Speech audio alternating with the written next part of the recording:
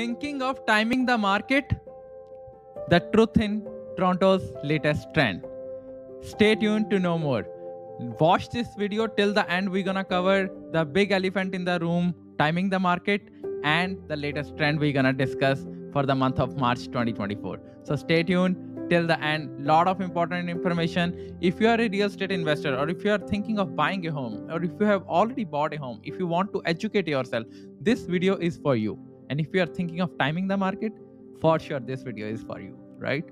Hey, hey, this side Ashish Sharma, your realtor with Right at Home Realty Brokerage. In today's video, we're gonna discuss, as the title says, thinking of timing the market, and we're gonna discuss the latest trend as well. So, without further ado, let's unlock real estate.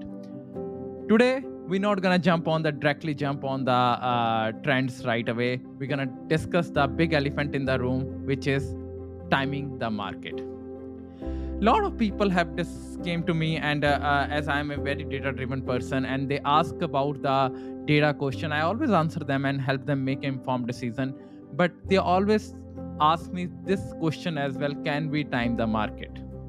So let's discuss some numbers. Stay tuned with me and have patience listen properly and you will come to know what i'm trying to convey the message over here right i'm to share some key numbers key numbers, right?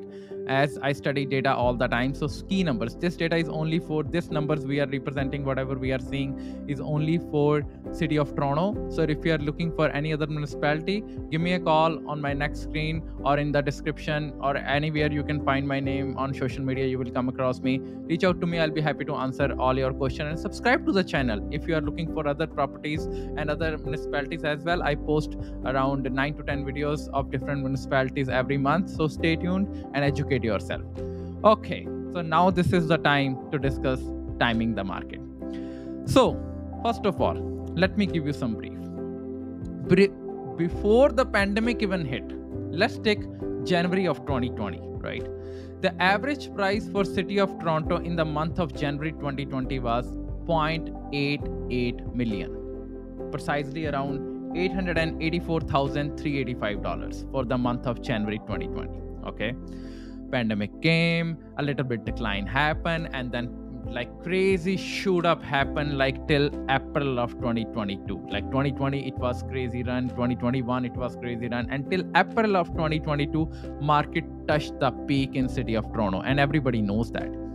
And the April 2022 average price was hovering around 1.24 million which is up 40.76%, 40.6% from January 2020.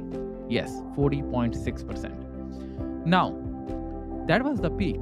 Yes, prices jumped 40 more than 40% in in around 2 years time, 2 years and uh, 4 months time.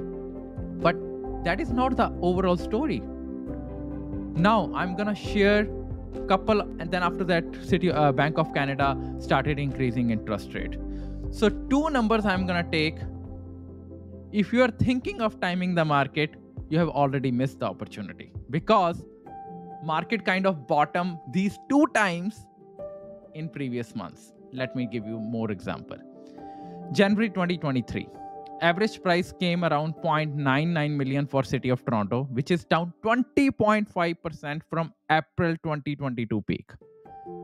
And it was only up 11.7% from 20, january of 2020 before the even pandemic start in 3 years period it only gained 11.7% which is very genuine increase according to the real estate right now if you would have bought it in January 2023, you would have might have timed the market. Now, fast forward to January 2024, and in the whole year, market goes up and down, up and down. But this particular number of January 2023 and January 2024 kind of like the lowest after the biggest peak happened in April of 2022. So fast forward to January 2024, two months before average price declined even further than the January 2023 to 0.96 million for January 2024, which is down 22.8% from April 2022 peak and only up 8.5% from January 2020. So technically, January 2020 average price was hovering around 0.88 million. January 2024 average price was hovering around 0.96 million, which is up only 8.5%. Why I'm sharing this thing? In January month, nobody knew this will be the bottom. Even in 2024, even in 2023, yes, market declined, it was going slow, but in february market picked up. March market picked up again in 2024 and same happened last year. Market went like prices went like 1.1 million as well at some point. But the point is can you time the market? You cannot. Don't try that. You can all you can do is make an informed decision based on month of inventory based on where the market is heading based on the sales price to listing price based on the sales to new listing ratios all these parameters can help you make an informed decision. And you cannot time the market but you can make informed decision to like make a best informed decision close to the timing the market. Now whoever have bought properties in january 2024 in city of toronto kind of timed the market. But were they aware of that maybe not. So it's not about timing the market it's about how much time you are in the market right? So without further ado subscribe to this channel. If you like this what i discussed reach out to me to answer all your questions. I'll be happy to provide you. If you are not working with any realtor happy to help you with your buying selling and investing needs. Now without further ado let's unlock real estate and provide the quick market updates for city of toronto Okay, so average price for City of Toronto for the month of March 2024 was hovering around 1.09 million, which is up 3.1% year over year and up 1.4% month over month. Yes, it is only up 1.4% month over month. When, but as I just in my last seven minutes, I explained what happened in January 2024. If I just compare with the January 2024 when the prices were 0.96 million, March is up 13.2% from January of 2024, right?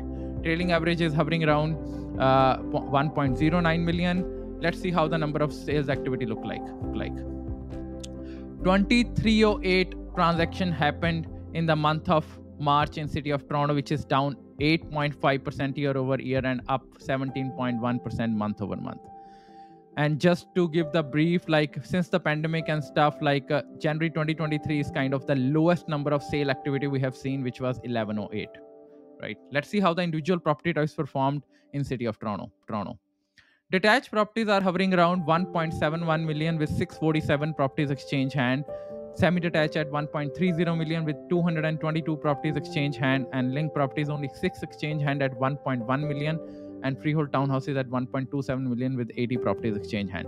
Why I give this number? So that you can educate yourself. Reach out to me, each and every municipality. Listen, each and every municipality, each and every housing category behave differently. You cannot compare what is happening in freehold townhouses in Toronto will be the same in freehold townhouses in Oakville or City of Burlington or Vaughan, Markham, Oshawa, Whitby. No, no, don't do that mistake. It's different everywhere. I'm breathing in, breathing out that thing. That's why I'm saying that. Let's see how the condo market is happening. Condo townhouses are averaging around 0.86 million with 156 properties exchange hand, and condo apartment hovering around 0.73 million with 1186 properties exchange hand. Condo apartments are always a 50% share of the overall property types in city of Toronto. Let's see how the don't go yet because month of inventory and average days on market stays a lot of things. So stay tuned month of inventory let's unlock what is month of inventory for city of toronto for march 20 march 2024 2.4 months of inventory this is seller's market according to the technical terms. But still market is kind of fluctuating.